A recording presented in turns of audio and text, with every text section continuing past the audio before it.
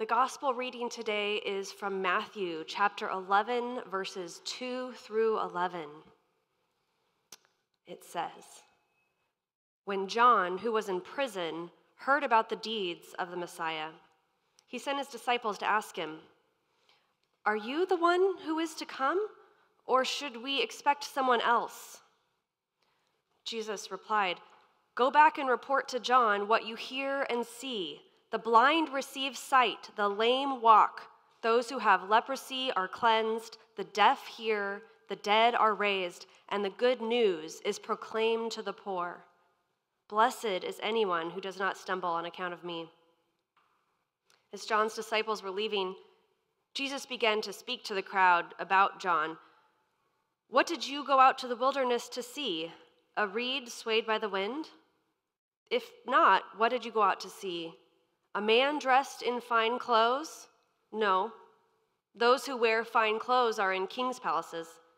Then what did you go out to see? A prophet? Yes, I tell you, and more than a prophet. This is the one about whom it was written I will send my messenger ahead of you who will prepare your way before you. Truly, I tell you, among those born of women, there has not risen anyone greater than John the Baptist. Yet whoever is least in the kingdom of heaven is greater than he. For the word of God in Scripture, the word of God among us, and the word of God within us. Thanks be to God. John the Baptist is the one spoken of here, that John. He's been watching Jesus' ministry all along. Not only that, but he announced Jesus' ministry in its beginning out in the wilderness on the banks of the Jordan while wearing the opposite of fine clothes, I should add. John invited people to turn from their fruitless way of life, to make a change, be baptized, and renew their connection to God. And crowds of people were coming out to see him. He baptized Jesus. He recognized Jesus' authority and power. He was there when the Spirit alit on Jesus in the river. The memory of this shared ritual must have been powerful. But then Jesus' ministry began, and John watched it happen. Jesus healed the sick, restoring people back into community when their chronic and sometimes contagious diseases pushed them out of society from being without stable resources for food or support or the joys of shared life together, Jesus restored people to wholeness. Jesus prayed. He lived with and for the poor. He ate meals with his disciples and started inviting people to gather together who were enemies. He seemed uninterested in whether he was breaking or following social rules. He was interested in healing and reconciliation. He taught the scriptures. And the information that he taught, paired with what his life looked like, started to become like a giant arrow pointing to his ministry, saying, This is what it looks like when God's people fulfill God's dream of a just and righteous communal life. And yet, the regional king had John the Baptist, who witnessed all of this and announced its coming, had John the Baptist arrested and imprisoned. The king had done something not good. He divorced his wife in order to marry his brother's wife. Not a good situation. Lots of other stuff he did that was real bad too. John condemned this, and he became a political prisoner. So I'm not going to summarize all of Jesus' ministry for you right now, but it's important for us to process what John the Baptist had seen and done by the time we reach the moment where he asks Jesus these questions. Miraculous signs of God's goodness are abounding, and they are for the most in need, and yet all is not restored. So John has to ask Are you the one? our hope and our salvation? One author writes If Jesus is really the one who brings God's role to fruition, why is our world still marked by exploitation, injustice, polarization, and violence? Why are we still waiting? How long must we wait? Did Jesus really come to redeem those who suffer, or should we look for another? We have even more reason to be asking these questions than John did. If Jesus is really the one, why are we still waiting? The answer isn't academic. In this story, the answer is based on what we make of the signs that Jesus performs. Do we believe that when the blind see, the lame walk, lepers are cleansed, the deaf hear, the dead are raised, and the poor have good news proclaimed to them, that what we are seeing is God's power? Or are we looking for something else? In the month of December, there are a million thousand ways to get swept along into choices that have nothing to do with what you and your heart and soul are looking for. There are family gatherings and expectations and gifts that you're involved in. There are religious events and real service needs.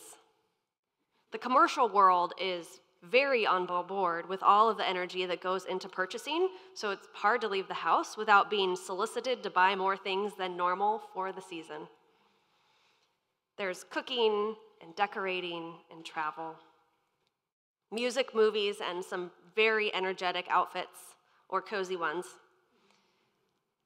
It's the easiest time of year to detach from our center, the place that we both ask and answer what are we looking for?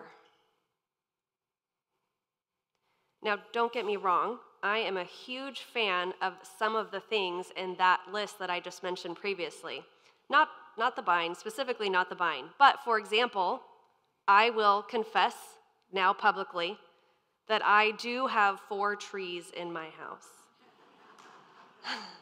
They're scattered around and it's tasteful, but it's, I do have four trees. So.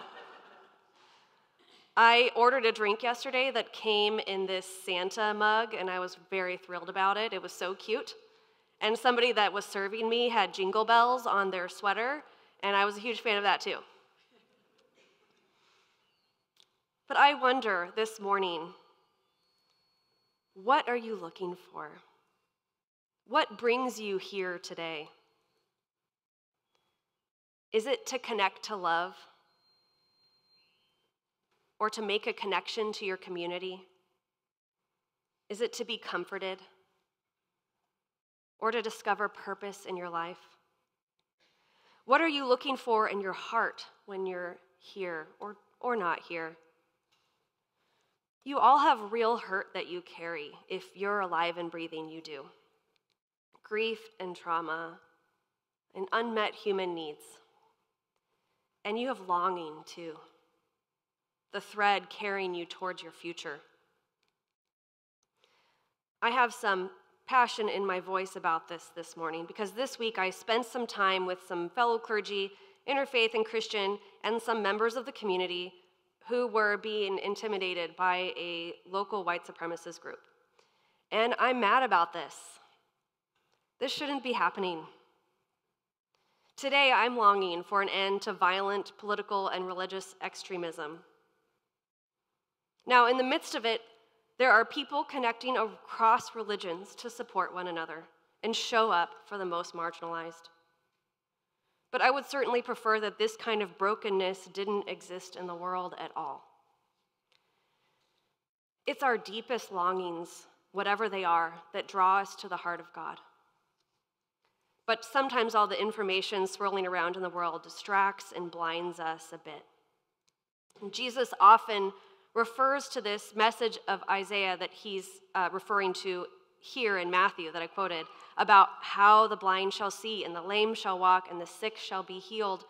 And he means it literally real physical healing in the body and real fixing of systems that drag people away from community when they need it most. Real embodied restoration. But he also means it metaphorically. We can become blinded in our minds and hearts a little bit, or a lot sometimes. And we need help learning how to see again. Today, we lit the candle of joy on the Advent wreath. And I'd like to invite us all to let our hearts notice what that joy is about and where it comes from. And I'd like to tell you that regardless of what it is that brought you here today, joy is what you'll find if you decide to participate in the story of healing and reconciliation that Jesus inaugurated so long ago.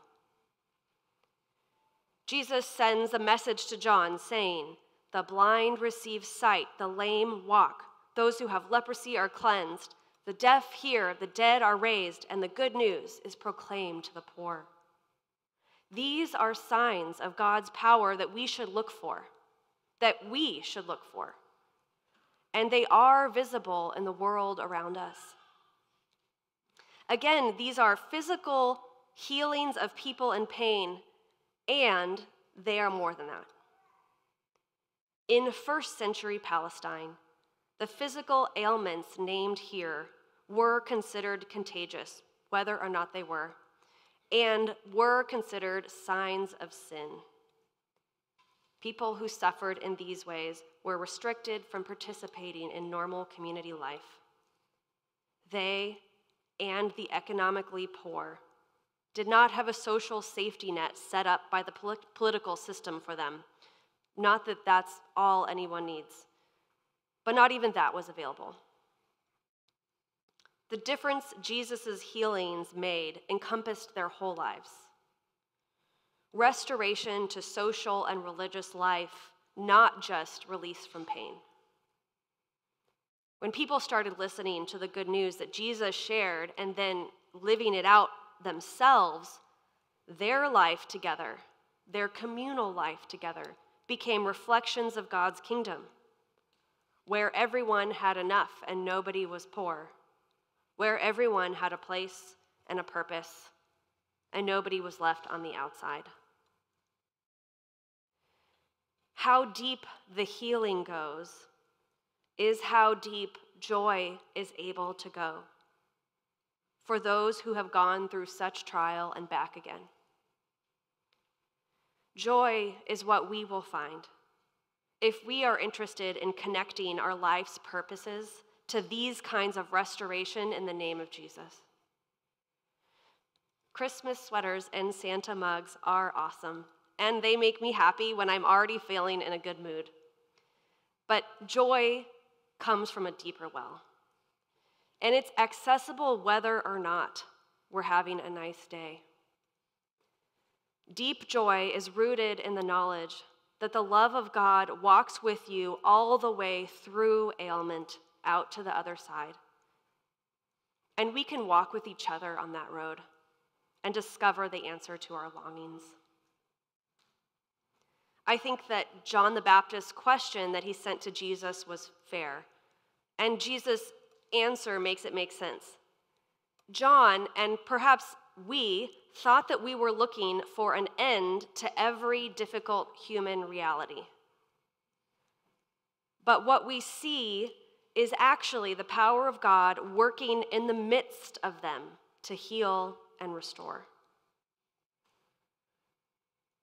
If you are in grief, the Christmas season won't wipe it all away, but connection to true joy can run right alongside of it.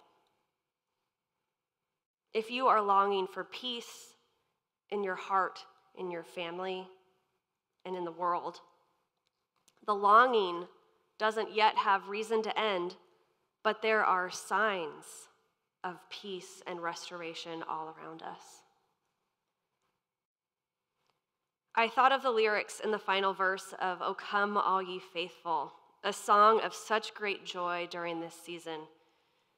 In it, we sing, Word of the Father, now in flesh appearing. You know what that means? It means the promises of God for peace and justice and righteousness come to dwell among us in the flesh. That's what we celebrate when we sing these lines. Signs of joy all around. I thought too of the last verse of O Holy Night, which says, Truly, he taught us to love one another. His law is love, and his gospel is peace. Chains shall he break, for the slave is our brother. And in his name all oppression shall cease. Sweet hymns of joy in grateful chorus raise we.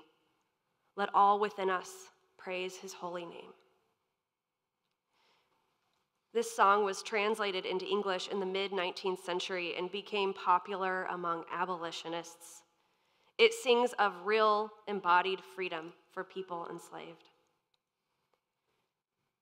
Next week is our Lessons and Carols service, and I want to encourage all of you to connect to the meaning of what you're singing. These songs aren't just beautiful and sweet, although they are that too but they are about the deep joy that can only come from peace and justice. They remind us about what God has done and give us hope as we reflect on the promises about what God will do. The Reverend Mia McLean writes The practice of remembering, of stringing the wondrous acts of God together, is the practice of patient hope, of perseverance. It is a practice needed now more than ever. We remember not just to live in nostalgia and reminisce on the good old days. We remember as we call for a new revolution. This is what brings me joy today. And it is my prayer that it is the message that you all hear in the songs and stories of the Advent and Christmas season to come that Jesus has come in flesh to start a revolution of peace and justice and righteousness. And now, for this reason, I can't wait in just two short weeks to wish you all a Merry Christmas and celebrate his birth. Amen.